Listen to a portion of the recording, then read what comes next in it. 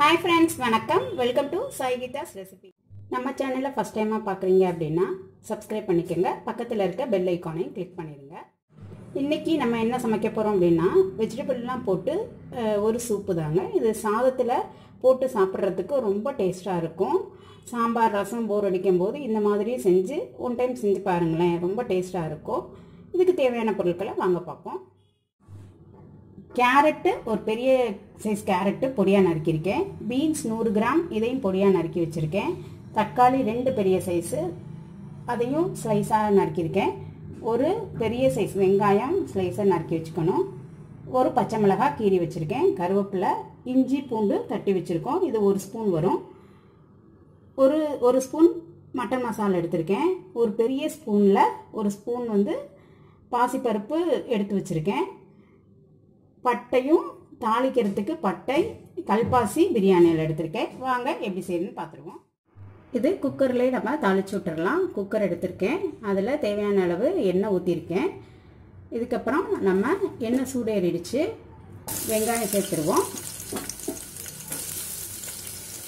பச்சை மிளகாய் கருவேப்பிலை சேர்த்துட்டு வதக்கிட்டு இது கலர்லாம் சேஞ்ச் ஆகணும்னு அவசியம் இல்லை. எல்லாம் போட்டு நம்ம நம்ம ஒரு ரெண்டு விசில் விட போகிறோம் அதனால் அடுத்தடுத்து நம்ம சேர்த்துக்கலாம்.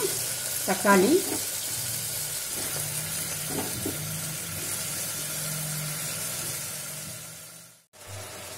பீன்ஸ் கேரட் சேர்த்துட்டோம். அதுக்கப்புறம் நம்ம தட்டி வச்சோம் இல்லைங்களா? இஞ்சி பூண்டு அதை சேர்த்துப்போம். அதுக்கப்புறம் பாசி பருப்பு ஊற வச்சுருந்தீங்களா அதையும் சேர்த்துப்போம். உப்பு சேர்த்துட்டு மட்டன் மசாலா எடுத்து வச்சோம் இல்லைங்களா? எல்லாத்தையும் இதில் சேர்த்துட்டு எல்லாத்தையும் நல்லா இப்படி மிக்ஸ் பண்ணிட்டோம். நம்ம இந்த இது காய் வேகணும். அதனால் அந்த அளவுக்கு தண்ணி விட்டுட்டு நல்லா மிக்ஸ் பண்ணிவிட்டு ரெண்டு விசில் விடுவோம். ரெண்டு விசில் வந்துருச்சு இதை நம்ம ஓப்பன் பண்ணிவிடுவோம்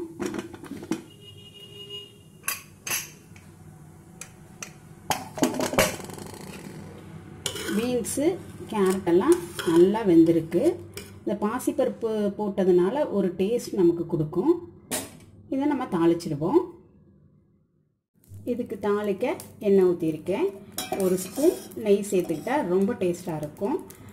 இது அந்த சூப் வந்து நல்ல மணமாக இருக்கும். இப்போ நம்ம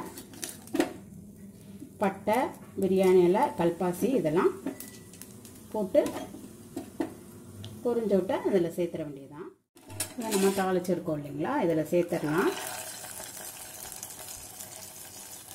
சேர்த்துட்டு நல்லா மிக்ஸ் பண்ணிவிடுவோம் ஒரு அஞ்சு நிமிஷம் அடுப்புலையே ஸ்லோ ஃபயரில் இருக்கட்டும். அஞ்சு நிமிஷம் ஆச்சு. நம்ம நம்ம கொத்தமல்லி தலை துவிக்கலாம். சூப்பர் ரெடி ஆகிடுச்சு இதை நம்ம ஒரு உருளைக்கிழங்கு ஃப்ரை வாழைக்காய் ஃப்ரையோடு வச்சு சாப்பிடும்போது ரொம்ப டேஸ்ட்டாக இருக்கும். நீங்களும் செஞ்சு சாப்பிட்டு பார்த்துட்டு எப்படி இருக்குன்னு கமெண்ட்ஸில் சொல்லுங்கள் ஓகே தேங்க்யூ ஃப்ரெண்ட்ஸ் பாய்